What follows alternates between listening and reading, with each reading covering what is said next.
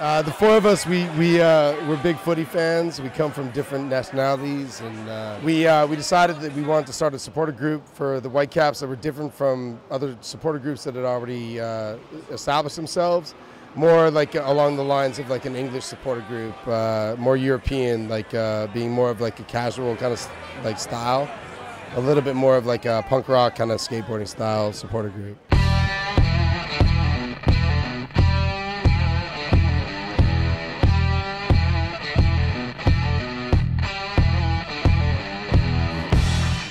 Well, definitely in Vancouver, you'll see us dressed in black. We were the first group to do it and uh, proudly still do it. Yeah, and I think every supporter group is different, but RCB is like a family that we come together and it, it, we just get together and have fun. That's, we, we like to laugh. If, make jokes, obviously.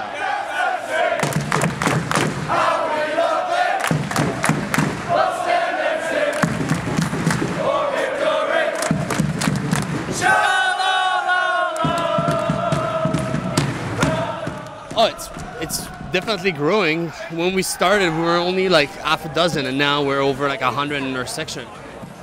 Up Hamilton to Robson and then down to the stadium. Perfect. If you have smoke, please wait until we turn onto Robson before you use your smoke. Uh, my name is Juice Percy, and I, I'm an assistant director in the film and television industry. Um, Rain City Brigade for me, it seems like to me we're a band of outcasts that all just seem to have come together uh, to support each other and support our team and support our club. Uh, we all love the game, and uh, I feel like we didn't necessarily fit in with other the clubs that were around, and, and we've all found each other uh, as a as a united group of outcasts. Uh, my name is Corey Ferreira, and I am the owner of Kingfisher Plumbing and Heating. They're more than just a supporters group, they're a family to me.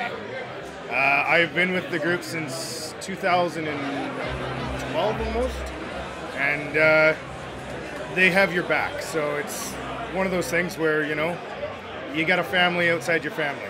That's what I like about it.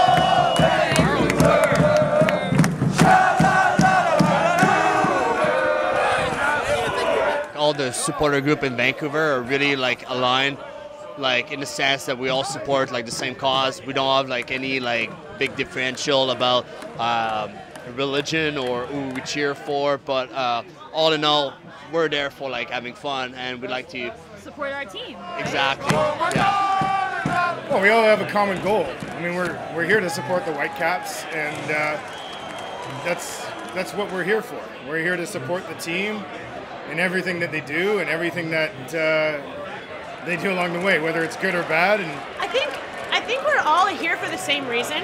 We're all supporting the same team. We're all supporting the same game. We all want the same outcome. And I, I, I don't think I don't think there's any animosity. I think we're all here just to uh, just to have have our teams back and show them that we love them. And and when it really comes down to it, we are all one giant supporters club. We just have our own little quirks and tweaks.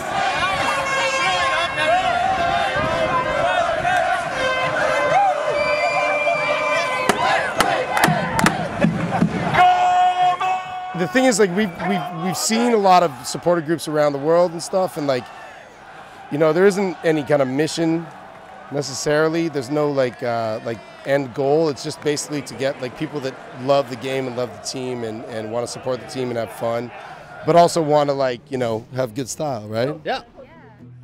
For me it's the family. It's it's unity. It's uh, everybody comes together. Uh, I can come here every game. Doesn't matter how many people show up there's somebody here, and there's already somebody here to greet me. Uh, so it's it's family. The biggest challenge of being a Whitecaps fan is that you got a lot of people who think that they're that that the MLS is not valid and that. Uh, that it, like we can't call it football because Americans call it soccer. Uh, I, I think it's a sport we all love, and it's the best sporting experience in Vancouver. And I think the naysayers just need to come to a game, come hang out with us, for one night and they'll change their minds.